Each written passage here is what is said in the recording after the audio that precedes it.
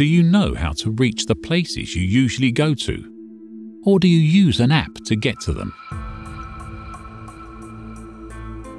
Do you remember your friend's phone number? Or do you have it saved in your phone? And how do you make calculations? Do you use a calculator? Little by little, we have outsourced parts of our brain to technology.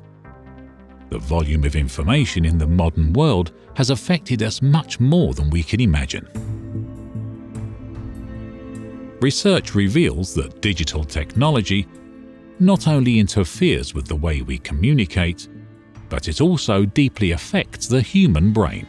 Having lost control, the majority of people have lost the ability to focus on a single subject. Their thoughts are constantly getting shallower and more chaotic, and their reasoning is rushed. Even more so, the human being is handing over the control of their thoughts to the superficial pace of this world, thus becoming a hostage of the anxiety that draws them away from what matters the most. It's only by drawing close to the fountain of life that one can restore the correct way of thinking.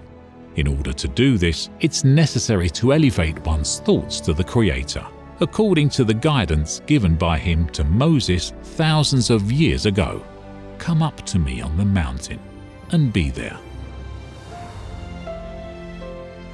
The life of stability that you're looking for requires a different pace a pace that this world is trying to eliminate. This return has to be a conscious personal effort to conquer what is most precious, that will sustain you on your journey. The Holy Spirit. Going up to the mountain is to walk away from the vast and shallow plains of this world. It's to align your thoughts to God's thoughts it's to go up to His level and allow Him, not the world, to shape who you are, define how you will live, and who you will become.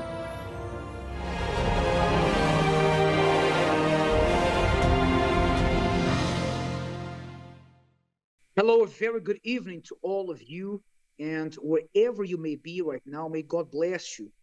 We know we have people who connect to this program from work, from home, in the commute from work to home, wherever you are, may the presence of the living God be, be with you right now. We have been speaking about the prayer that Moses said to God, a bold prayer that said, if your presence doesn't go with us, then we don't want to leave this place here. But the interesting thing is the answer that God gave to Moses. You will see here tonight how God dealt with that request that Moses said and what that means to us today because God has a plan. There is something that He wants to do. But in order for Him to do that, we have to position ourselves in this plan of God.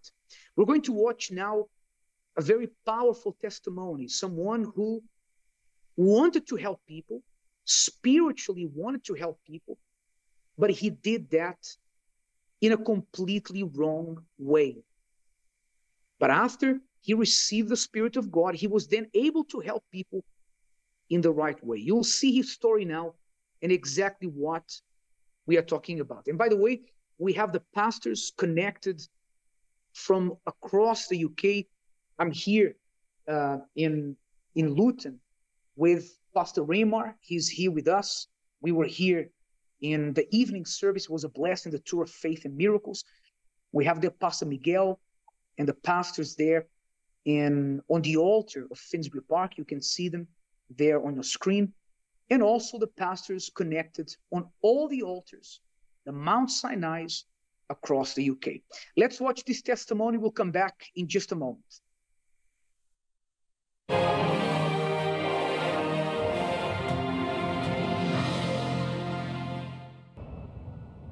Mestre de magia. Magic Master.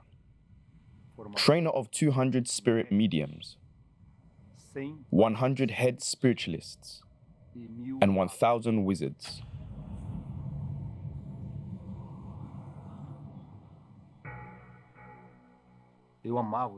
I loved spirits. Though I had a degree in mechanical engineering, with a master's degree from France, I became interested in that world.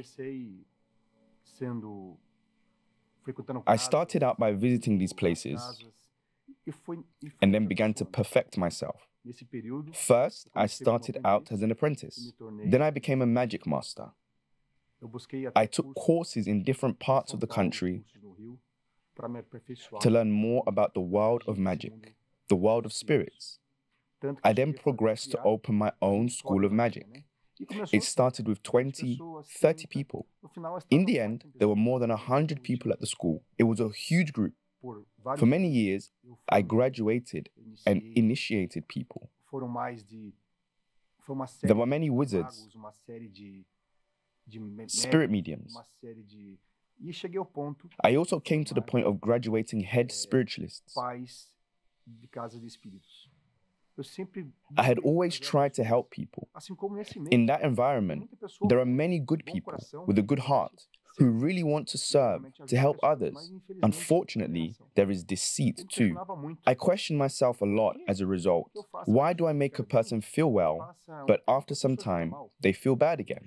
I question myself about that a lot. They were healed, but six months later, they returned with another sickness or even feeling even worse than before. This was something that I asked myself many times. Why do things not improve? However, I still carried on because that was my all. It was my world. I lived 24 7 for the spirits. How did it work? I heard, I saw, I felt. Sometimes I would wake up in the middle of the night with a spirit calling me to carry out a work, to go to a force field, go to the cemetery, go to the waterfall. Regardless of the time, I would go and carry out the work. This was the life. I was a waiter for the spirits. I called the chief spirit father. And he was with me all the time. I was a nervous person, agitated. The spirits bothered me all the time. I had visions, shadows. I even saw the devil himself in front of me. Until 2016, I was a purchasing department coordinator for a multinational company, and I lost that job. So let's say that this was the first blow I received, and my financial condition got tight. Until then, I had a stable financial condition. But then hmm. things started to get financially more difficult. I had a degree in mechanical engineering in a renowned university with a master's degree from France, but I couldn't find a job. I even tried to open a company in the construction business, providing consultancy, but this did not take off and things did not improve. However, that was not my rock bottom. A year later, I was betrayed by my then wife. That was the real blow, the rock bottom for me. Why? Because my family was my everything. When it affected my financial life, my professional life, and then my family, it was a huge blow. Nonetheless, I still didn't let go of that world. I thought that the spirits would help me, that they would do something to change things for me. No, months passed and nothing happened. I implored them, help me, but things did not improve. How did I feel? That shook my faith even more. Because imagine, I do good, I help people, but I cannot help myself. One day, I was alone at my brother's house. And my sister, who had been in the Universal Church for 10 years, came. She had always prayed for me. Always.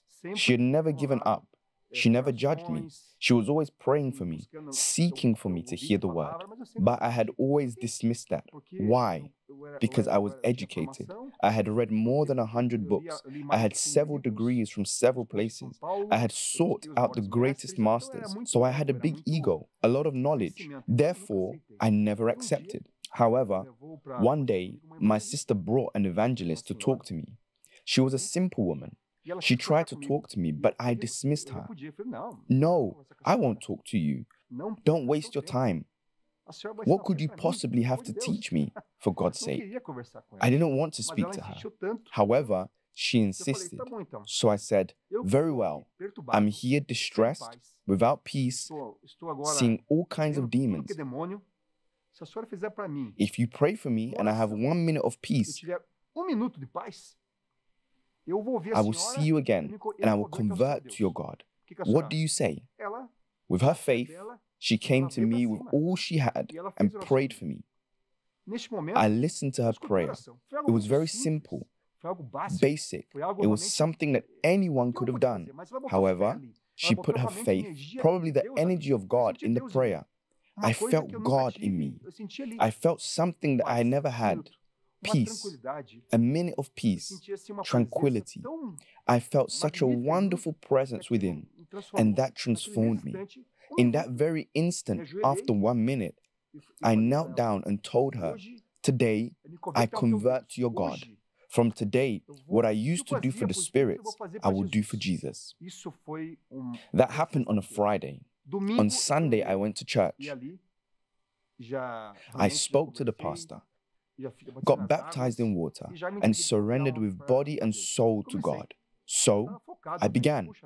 I was focused. Wow, I want more of this God. I want to know more of this God. For three months, I manifested in the church. I felt ashamed. Why? Because I was in the church and was manifesting with demons. I howled, I screamed, I felt ashamed. That ended when the hurt was taken out of me. I had been hurt with everything that happened to me, with the betrayal. I forgave. Then I was delivered. From that moment on, I never manifested again. I had peace, but I wanted more. God had sent an angel for that challenge of the minute of peace. I wanted God in me. I wanted the Holy Spirit inside me. So I became revolted. I had received all kinds of spirits, demons, entities. What do I have to do to have God in me? I want to have the Holy Spirit. I became revolted. What did I do? I went with my all into the campaign. I went with everything. I saw the opportunity to have God inside me. I did the campaign to have the Holy Spirit. I really placed my all in. When I heard about the campaign and sacrifice, for me, this was very normal because I had always sacrificed. I must sacrifice on this altar because the altar I used to sacrifice on was the altar of the spirits, the altar of demons. I then thought, now I will sacrifice on the right altar. I went up with everything I had. I did the material sacrifice, but I also surrendered my ego, my pride. I surrendered all my anxieties to God.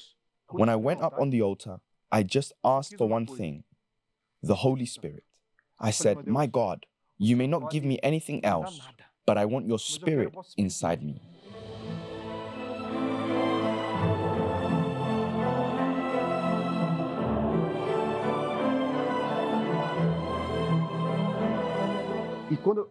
When I came down from the altar, I was a different person. One day, I was in an Intellimen meeting, and I was seeking for the Holy Spirit with all my strength. In that moment, I received the assurance I used to seek for so many spirits, so many entities. But in that instant, I thought, nothing compares to this. This assurance, this certainty, this faith, it was indescribable. The Holy Spirit is greater than anything. There is nothing like Him. There is nothing bigger than this. It is peace like no other. It is peace where everything can end but you are at peace.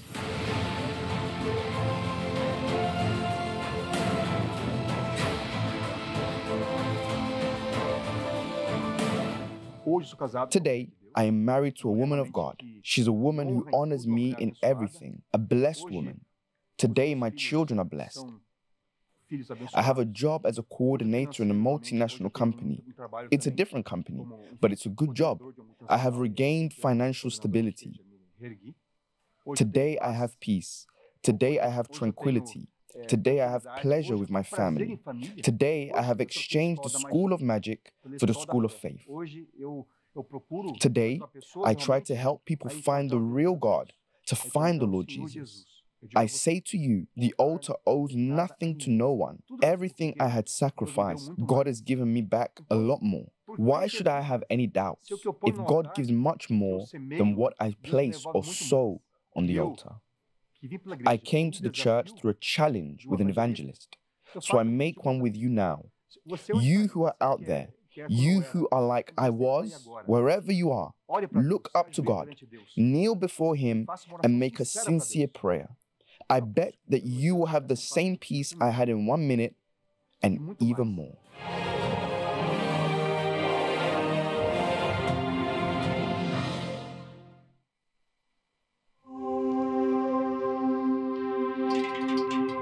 Less distraction, more prayer for something much greater the Holy Spirit. At the time, the pastor said, embrace the person that is next to you. I don't know who the person was, but all I can remember in that moment was clarity. And that was something that I never had in my mind. I never had in my heart. I never had any of that. I never had any sort of clarity. That day I embraced the person that was next to me. I don't remember who they was, but all I know is that moment I received the Holy Spirit just a stillness, a calmness, and it wasn't an emotion. There wasn't a crying. There wasn't tears. It was simply the understanding that the Holy Spirit has come upon me, and the reason that the Holy Spirit has come upon me is because I have nothing left to do with this world. All I wanted was Him. So in that moment, to have that happiness, to have that clarity, to have that joy, to genuinely, genuinely feel joy, not not temporary um, um, happiness, temporary. No, it was real joy. Like it was real happiness. Today, I'm I'm happy. I have I always have a smile on my face. If you say, "My God, I want to be like you. I want to be your child," because children look like their dads, and I want to be like you, my God but I cannot make myself like you of my own strength, of my own accord. I need your spirit. The fast of Daniel, 21 days before the face of God. At 232 Seven Sisters Road, Finsbury Park, London N4 3NX, or at your nearest Universal Church.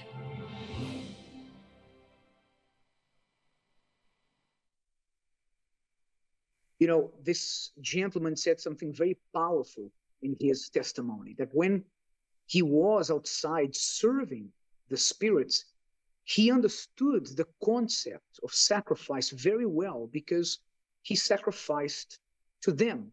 And this is a law of nature in life. It doesn't matter what you believe in, sacrifice is a part of life.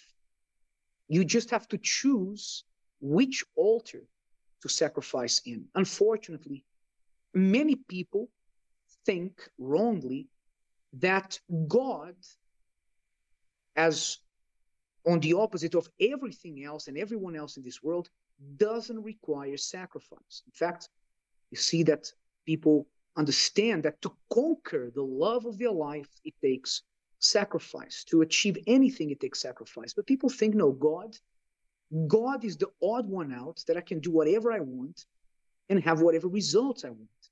That's not the case. And the purpose of the campaign of Mount Sinai is exactly this to understand that when I go to the altar to empty myself on the altar, I am following the same concept that Abraham and Moses and Isaac and all the men of God did, including up to the time of the Lord Jesus.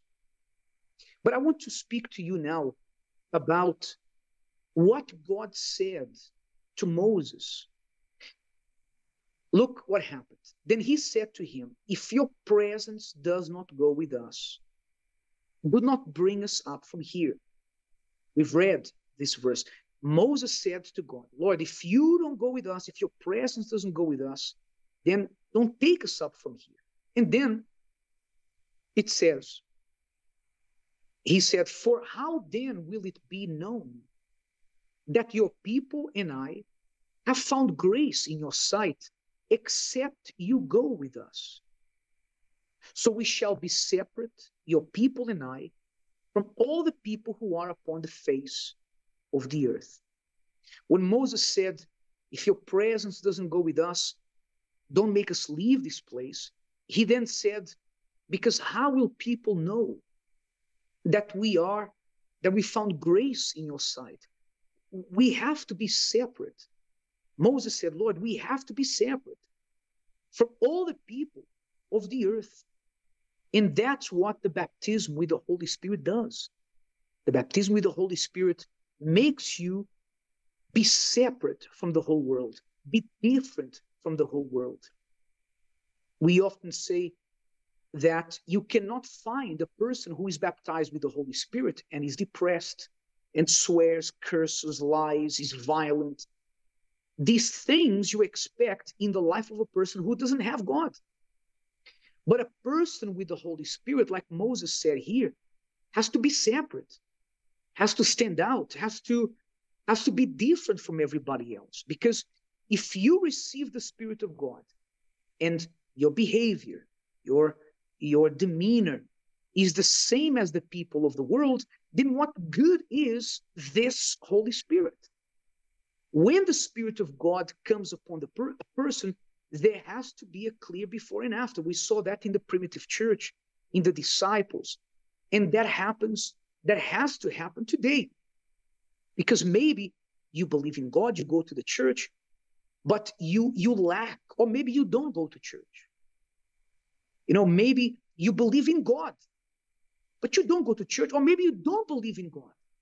Maybe you believed one day that you had the Spirit of God, but was there a difference? Because that is that is the main point.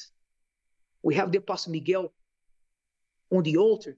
Pastor Miguel, you know, the, the main actually the Lord Jesus spoke about this. He said, You shall know the tree by its fruit. You know, a, a thousand fig trees, they look the same. But the fruit is what differentiates the tree. And when a person says, I have received the Spirit of God, what makes us know that the person really has the Spirit of God is when the person's character, identity has been transformed from water to wine. Like Moses said here, if we have found grace in your sight, you know, except you go with us, how shall we be separate? He said, we have to be separate. We have to be different from all the other peoples because your spirit is with us. Good evening, Bishop and viewers. Exactly. Moses knew that the grace of God and what would make them totally different than everybody else was the presence of God within him. And you who are watching us now and you feel like you are suffering because you don't have a husband or suffering because your life is broken, your family is broken, you who got into an addiction because of losses you had, you who link your happiness to having things or adding people into your life. This is a great example that what you are searching for cannot be found on people or things what you are looking for can only be found in the presence of God. Actually, the reason why you are suffering is not because of the hard past you had, it's because of the absence of the Holy Spirit. Because when the Holy Spirit possesses your body, you are never gonna see depression, you are never gonna see sadness, you are never gonna see the slavery to the problems that are oppressing you right now. So these testimonies and this campaign of Mount Sinai, Bishop, it's a direction for those who have been for so long searching for joy, searching for happiness, and they have been disappointed because they are trying to find this life, this joy in people and things. But this is an example that you can only find this true joy and be different than everybody else when the presence of God is in you. You want to be happy? Focus on the presence of the living God. That's right. And actually, I, I want to speak now to Pastor Elijah from our church there in Tooting. You know, Pastor Elijah, I, I was listening to this testimony. We were talking about being separate, standing out. We have to be different from, you know, the people of the world.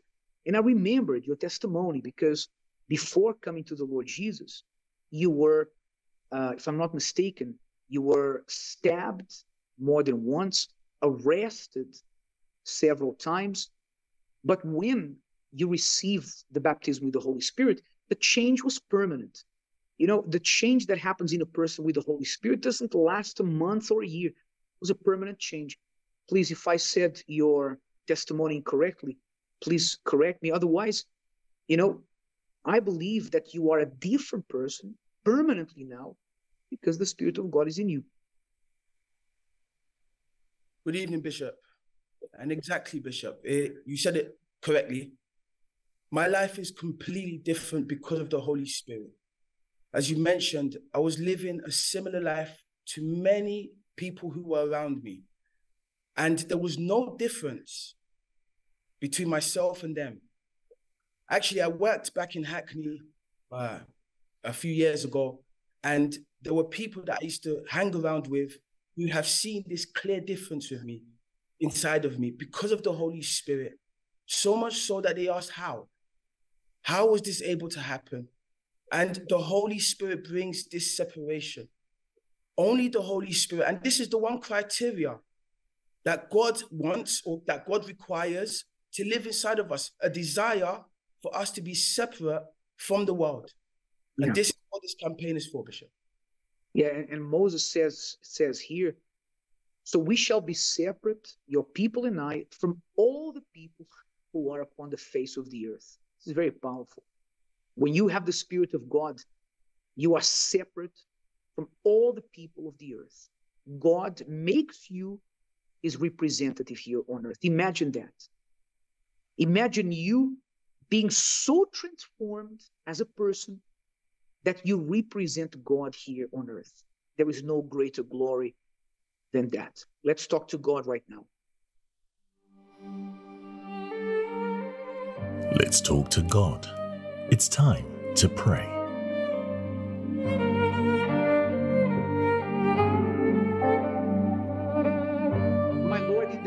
The Lord Jesus, my Father, I believe that you have given us a revelation here tonight because your word says, you said, actually, Moses, inspired by your spirit, said, Lord, we have to be separate from all the people of the earth.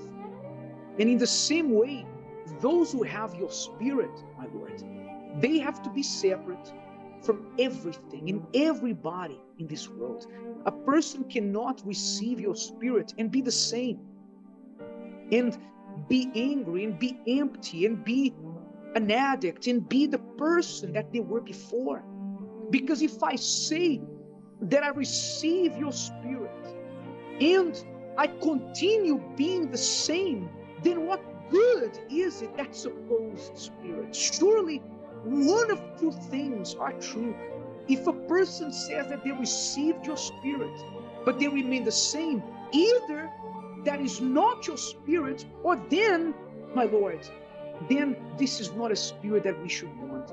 But we can see that those who received the embodiment of your spirit, those who were possessed, my God, by your spirit, they were transformed. Like it happened with this testimony we saw tonight, and like it happened in all the testimonies, in all the lives of those who've had an encounter with the living God.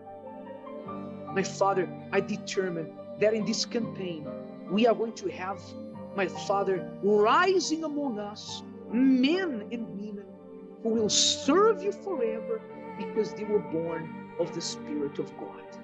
In the name of the Lord Jesus. Amen. Praise God. Amen. Amen. And I called my wife here just before we end the program because this Saturday at 3 p.m. we have the women's meeting, the Godllywood's self help meeting. What can you tell us? Can you give us uh, a hint? Please don't say no because otherwise. No, no, no. I can say something. Tell me. Uh, but not a lot. I I can just say this, but I really mean it. I'm not saying this just so that you can come. If you apply what you're going to learn, you're going to hear a very simple message. If you apply that message to your life, your life is going to change. You will not be the same person. So I think it has a lot to do with what we are hearing lately. Mm-hmm. Uh, it's not about the campaign. It's not about the campaign of Israel, but it has to do with you, woman, and how you see yourself. Bishop, what about? Don't be late. Don't be late. 3 p.m. Yeah, because many people arrive late. Sure. And they miss out. Yeah. Bishop, what about fundraising this Saturday? Well, we're going to hand over the fundraising this Saturday only to the men. And the mm-hmm. women will be there in the church in the morning to evangelize, and then the women's meeting at 3 p.m. It will be a blessing. Don't miss it. I will be there. And I'm sure that God is going to speak to all of us. All right? May God bless you abundantly. We'll see you tomorrow at the same time here on Be Inspired. God bless you. Bye bye.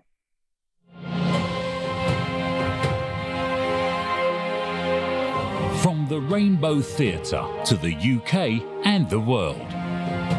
The journey of faith of the campaign of revolt on Mount Sinai.